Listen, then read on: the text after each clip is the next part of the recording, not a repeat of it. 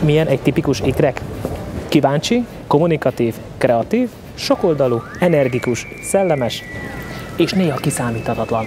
Na én pont ilyen vagyok, ja, és Balázs.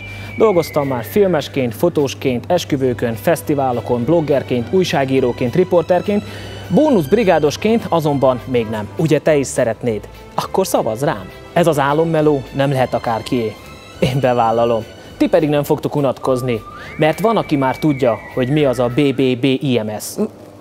Ez a, ez a bónuszbrigád Bali. Informatív, minőségi szórakoztatás.